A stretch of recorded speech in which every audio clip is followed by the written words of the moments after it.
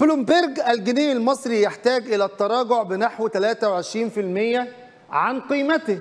طيب في خبر تاني أنا حابب أعرضه على حضراتكم بخصوص حلقة النهاردة وهو إن نفس هذه الوكالة وكالة بلومبرج قررت تتعامل مع الاقتصاد المصري بشفافية واضحة.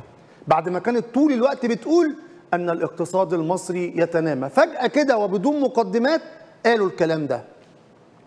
بلومبرج الجنيه سيهبط إلى 20.5 مقابل الدولار الواحد نهاية العام الحالي. طيب خبر زي ده مهم قوي لأنه من مصدر تقيل زي بلومبرج. وفي نفس الوقت مؤسسة كانت كتير جدا شايفة إن الاقتصاد المصري ماشي في طريق التنمية. يعني مثلا الخبر ده لو كنا قرأناه على ميدل إيست مثلا عادي. حتى البي بي سي برضه عادي. أما بلومبرج لا. هنا إحنا محتاجين نقف وقفة مهمة جدا. تعالوا كده مع بعض نستعرض نفس الوكالة دي. اللي قالت الأخبار دي.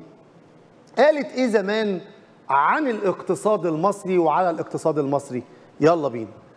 شوف يا سيدي ومن اليوم السابع وكالة بلومبرج مصر من أفضل دول العالم تعاملا مع الأزمة والأقل تأثرا بتداعيات كورونا وتحتل المركز ال 25 عالميا والثاني عربيا من بين 53 دولة على مستوى العالم في تصنيف مرونة التعامل مع أزمة كوفيد 19 تمام؟ طيب دي الأخبار اهي زي ما أنتم شايفين. بص اللي بعديه. بلومبرج مصر بين أقوى 10 اقتصادات نموا على مستوى العالم في 2020 بس كده؟ لا عندنا تاني.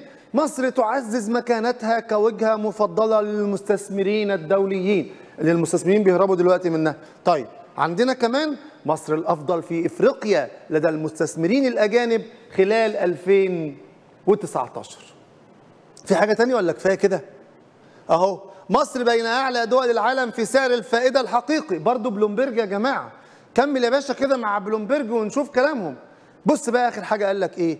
الاضطرابات السياسية القادمة في مصر وتونس قد لا تتأخر. طيب.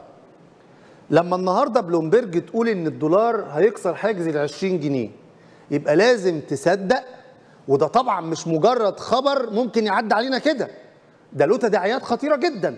أحد أهم هذه التداعيات قالت عليه نفس الوكالة. الخبر اللي أنا نهيت لك بيه الحوار لو نرجعه تاني يا جماعة معلش أهو. عشان كده أنا تعمدت أنهي بده؟ بلومبرج الكبيرة دي بتقول إيه؟